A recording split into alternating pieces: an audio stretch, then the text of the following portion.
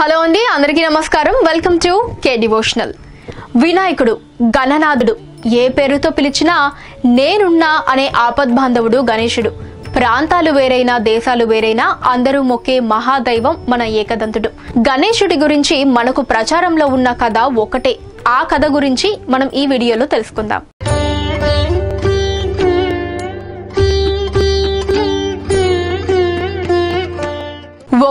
గజాసురుడు అనే రాక్షసుడు శివుడి కోసం ఘోర తపస్సు చేశాడు.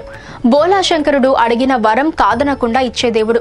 ఇక గజాసురుడు అడిగిన వరం ఏంటంటే శంకర నీవు నా ఉదరం అందే నివాసం ఉండాలి. శంకరుడు ఏం ఆలోచించకుండా సరే అని ఆ గజాసురుడి ఉదరంలోకి వెళ్ళిపోయాడు. ఇక పార్వతీమాత శివుడు లేకపోవటంతో విలవిలలాడింది.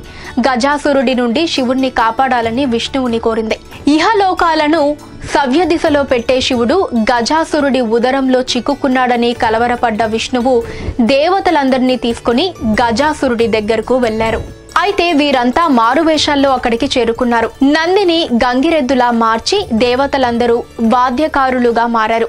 విష్ణువు గంగిరెద్దులు ఆడించేవాడిలా వేషం వేశాడు. తన గంగిరెద్దు ఆటతో గజాసురుడిని మెప్పించాడు. ఆ ఆటకి మైమరిచిన గజాసురుడు ఏం కావాలో కోరుకో అన్నాడు. అప్పుడు విష్ణువు ఈ నందీశ్వరుడి స్వామి నీ ఉదరంలో ఉన్నాడు. తన స్వామిని తనకిచ్చేస్తే వెళ్ళిపోతామన్నాడు వచ్చింది విష్ణువు ఆ వాద్యకారులు దేవతలు అని గుర్తించిన గజాసురుడు నా ముఖం జగత్పూజ్యం అవ్వాలని మహాదేవుడు తన చర్మాన్ని కప్పుకోవాలని వరం అడిగాడు దానికి సరే అని నందిని పంపిస్తాడు విష్ణువు.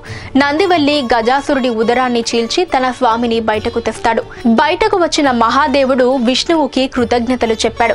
ఇక మీదట సులభ వరాలు ఇవ్వకు అని చెప్పాడు విష్ణువు. ఇక కైలాసంలో శివుడి కోసం ఎదురు చూస్తున్న మాత పార్వతి స్నానానికి వెళ్ళి నలుగు పిండితో ఒక బాలుని చేసింది.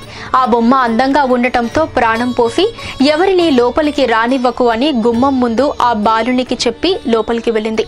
అప్పుడే గజాసురుడు నుండి బయటపడి శివుడు కైలాసానికి వచ్చాడు.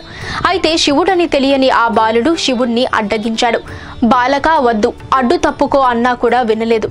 ఇక విసిగిపోయిన శివుడు ఆయా బాలుడి తల నరికి రుద్ర నేత్రంతో భస్మం చేస్తాడు.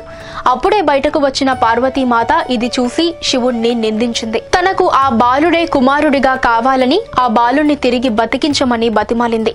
ఇక తప్పదు అనుకున్న మహాశివుడు ఉత్తరం వైపు తలపెట్టి పడుకున్న ఏ జీవి అయినా సరే తల నరికి తెమ్మని శివుడి గణాలకు చెప్పాడు. వారు వెళ్ళేసరికి ఉత్తరం వైపు ఒక ఏనుగు తలపెట్టి ఉండటంతో దాని తలను నరికి కైలాసానికి తీసుకువెళ్ళారు. ఆ తలని చనిపోయిన శిశువుకి శివుడు అమర్చాడు. అలా వినాయకుడు ఆవిర్భవించాడు. వినాయకుడు అంటే విచిత్రమైన నాయకుడు. ఇక మూషిక వాహనం గురించి చెప్పాలంటే ఒకసారి స్వర్గంలో సంగీత విభావరి జరుగుతుంది. అయితే ఆ విభావరికి వచ్చిన క్రోంచ అనే సంగీత దేవుణ్ణి ఇంద్రుడు పిలిచాడని అతని దగ్గరకు వెళ్తూ తొందరలో వామదేవుడు అనే ముని యొక్క కాలు తొక్కుతాడు క్రోంచ.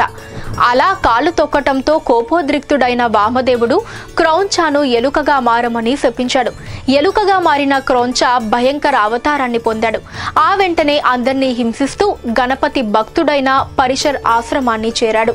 ఆశ్రమాన్ని తనని ఎలాగైనా కాపాడాలని గణపతిని వేడుకోవటంతో గజాననుడు ప్రత్యక్షమై ఆ ఎలుకను ఒక తాడుతో బంధించి వేశాడు. ఇక తప్పించుకునే అవకాశం లేక తనని వదలమని ఇక నుండి నీ వాహనమయ్యి ఉంటానని గణేశుణ్ణి ప్రార్థించాడు. ఇక సరే అని గణేశుని వాహనంగా మూషికుణ్ణి నియమించుకున్నాడు ఆ గణనాథుడు. అలా ఎలుక వాహనంగా మారిన తర్వాత ఒకసారి శివుడి గణాలకి అధిపతిని నియమించాలని కైలాసంలో అందరూ శివుడిని కోరతారు. శివుడు కుమారస్వామిని గణపతిని పిలిచి ఎవరు అధిపతిగా ఉంటారని అడగగా ఇద్దరు నాకు కావాలంటే నాకు కావాలని కోరారు. శివుడు ఇద్దరికీ ఒక పరీక్ష పెట్టి అందులో ఎవరు గెలుస్తారో వారే గణాధిపతి అని చెప్పారు. ఇద్దరు సరే అని పరీక్ష ఏంటని అడగగా ఈ ముల్లోకాల్లో ఉన్న పుణ్యనదులను ఎవరైతే దర్శించి అందులో స్నానం చేసి వస్తారో వారే ఈ గణ గణాలన్నిటికీ అధిపతి అని చెప్పాడు శివుడు. అది విన్న కుమారస్వామి అన్న ఆ ఎలుకనెక్కి ఈ లోకాలను ఎలా చూడతాడు? నేనే గెలిచేది అంటూ నెమలిని ఎక్కి తన యాత్ర మొదలుపెట్టాడు. ఈ పరీక్ష నేను ఎలా గెలవగలను అని మహాదేవుణ్ణి అడగగా శివుడు నారాయణ మంత్రాన్ని గణేశుడికి ఉపదేశించి ఇది ఒక్కసారి చెబితే ముప్పై మూడు వేల పుణ్యనది స్నానానికి సమానమని చెప్పాడు. గణేశుడు ఆ మంత్రాన్ని జపిస్తూ తన తల్లిదండ్రులైన ఆది దంపతుల చుట్టూ మూడు సార్లు ప్రదక్షిణ చేస్తాడు.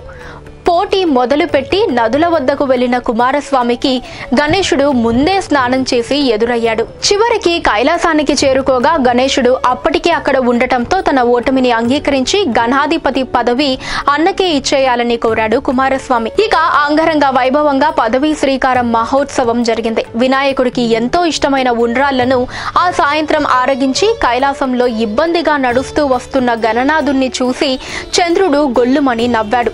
చంద్రుడి దృష్టి పడి గణేశుడి పొట్ట పగిలి ఉండ్రాళ్ళు బయటపడ్డాయి. ఇది చూసిన మాతా పార్వతి కోపంతో చంద్రుణ్ణి చూసిన వాడు ఎవరైనా నీలాప నిందలు పడాల్సిందే అని శపించింది.